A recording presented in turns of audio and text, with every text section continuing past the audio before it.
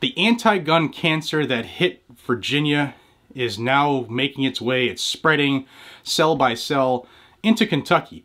What am I talking about? You're going to want to hear the next episode of Guns and Gadgets.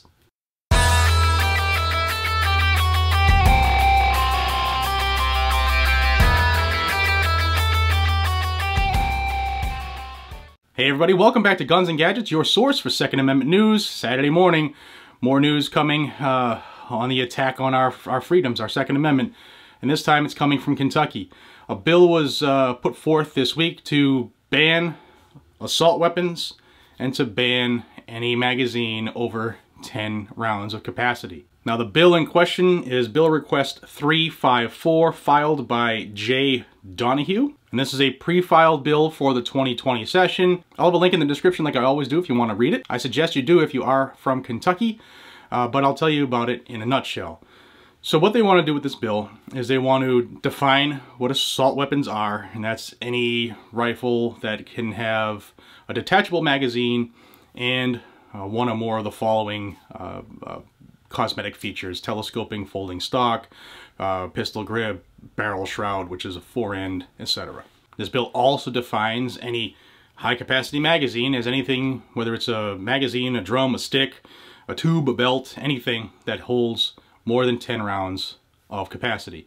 And it's the same cancer that's been spreading across the country for the last 20 years. It is now uh, taking another bite, another attempt to take a bite out of Kentucky. Now I'm going to read you right from the bill so you know exactly what's going on. A couple different sections that are being altered in different laws to change the definitions, but uh, this is what it says regarding the magazines. On or after the effective date of this section, a person is guilty of possession or transfer of a large capacity ammunition feeding device when he or she knowingly either A, possesses a large capacity magazine or feeding device, B, transfers the same and then it tells you that possession is a class A misdemeanor, and there's no grandfather clause here. It says that any person who may not lawfully possess a large capacity ammunition feeding device on or after the effective date of this act shall, prior to the effective date, A, remove the large capacity ammunition feeding device from this state, B, render this large capacity magazine ammunition feeding device permanently inoperable,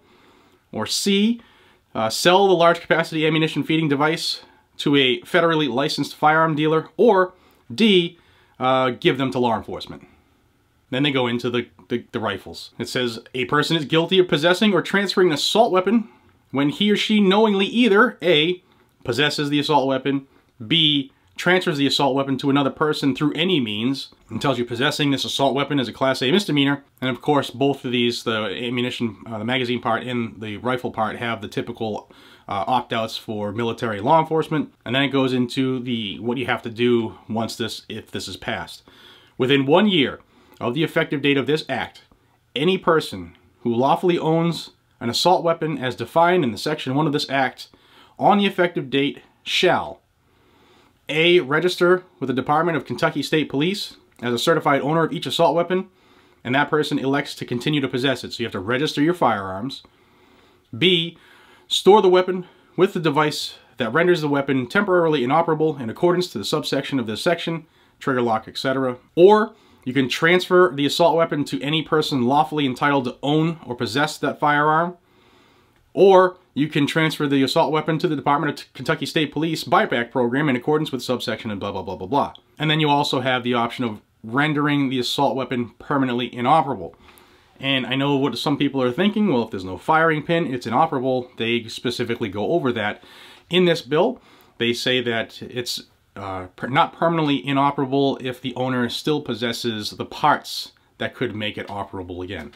So if you have ARs, AKs, and you remove the firing pin, and you happen to have a bag of firing pins somewhere, it's technically not permanently inoperable even if they're in different parts of the house. So Kentucky, a gun-friendly state is now looking at an assault weapon ban and a magazine ban dead in the eyes for the new session uh, to take place in January 2020. The bill, like I said, is Bill Request 354. Link will be in the description. And I'll also have a link to the guy who proposed this, Mr. Jay Donohue, uh, because uh, you might want to reach out to him and tell him what you think since he's supposed to represent you as a citizen. If you live in Kentucky, you know what you need to do already. If you don't live in Kentucky, you can help those in Kentucky.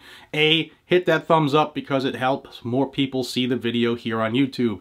B, share it, spread it to groups, to, to forums, to people, whatever. If you help spread the news, more people are likely to get it more people can take action and become aware of it because like you saw in Virginia, they took advantage of certain people that, you know, don't go to the polls. They took advantage of certain people not knowing what's going on. And they're going to try that in Kentucky as well because it worked to their state next door. If you're into the Second Amendment news, whether it's good, bad, ugly, or indifferent, this is where you're going to find it right here on Guns and Gadgets, days before others put it out, if they put it out at all, to include the mainstream media. So do yourself a favor and hit that subscribe button. Not only do you help yourself get that news in a timely fashion, you help this channel continue to grow, and that helps get the news out as well.